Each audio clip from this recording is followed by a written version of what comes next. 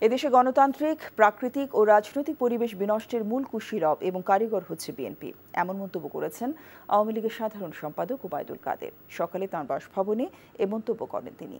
ভবিষ্যতে বিএনপি ক্ষমতায় গেলে দেশ অন্ধকারে তলিয়ে যাবে বলে দাবি করেন তিনি। বিএনপি নেতাদের বক্তব্য শুনলে মনে হয় বাংলাদেশের মানুষ নরক যন্ত্রণার মধ্যে আছে। অথচ বৈশ্বিক শান্তি সূচকে বাংলাদেশ গতবারের চেয়ে সাত ধাপ এগিয়ে আছে। এদেশে গণতান্ত্রিক প্রাকৃতিক পরিবেশ, রাজনৈতিক পরিবেশ বিনষ্টের মূল কুশীলব এবং কারিগর হচ্ছে বিএনপি।